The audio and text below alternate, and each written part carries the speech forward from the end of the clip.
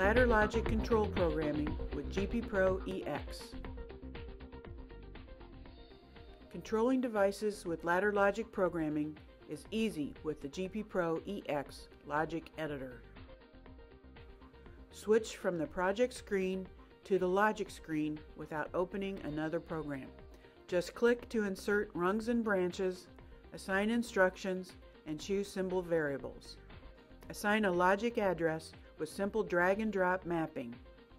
With search and replace and subroutine features, mistakes are minimized. Save development time, reduce file sizes, and maximize accuracy by storing commonly used routines as function blocks. Just drag and drop them onto the logic screen to reuse. Function blocks can even be shared and password protected.